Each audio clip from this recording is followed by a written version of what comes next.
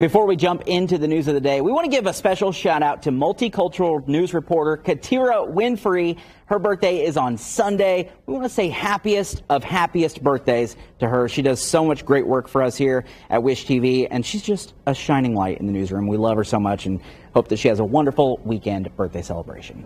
All right, let's get a look at some of those top news headlines today. The woman accused of using her car to kill her boyfriend in a bar parking lot last June has been convicted of voluntary manslaughter. Marion County prosecutors say Morris tracked her boyfriend Andre Smith using an AirTag device to a bar on East 82nd Street and Dean Road. They say when she entered the bar, she found him with another woman. That's when an altercation occurred and the three left the bar. Morris got into her vehicle and ran Smith over multiple times, killing him. She'll be sentenced September 21st.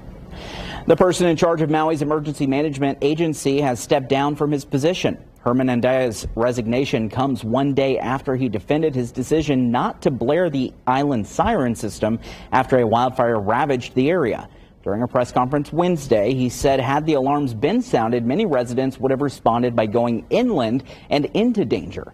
The fires started earlier this month and have already claimed 111 lives, mostly in Lahaina. Maui County's mayor says a replacement for Andaya will be announced soon. The maker of Beanie Babies is set to release a new limited edition bear to help wildfire survivors in Hawaii. Its name is Aloha, and it's gold with a rainbow ribbon and the words Maui Strong on its chest. All the profits from its sales are set to go to the American Red Cross. Beanie Babies come with birthdays and poems. Aloha's birthday is August 8th, the day wildfires took off in Maui.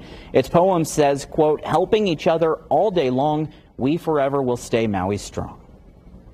Starbucks has been ordered to pay an additional $2.7 million to a former employee. Shannon Phillips worked as a regional director over the Philadelphia area.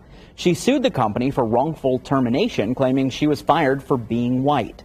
It happened after two black men were arrested for sitting at a table without ordering anything in 2018. Phillips said the company fired her in an effort to convince the community it had properly responded to the incident.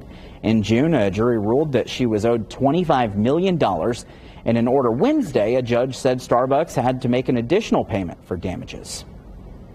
LL Cool J's Bringing the Force tour is no longer listing Sunday's performance at Gainbridge Fieldhouse. Ticketmaster posted on their website this morning saying the event has been canceled, but a reason was not provided.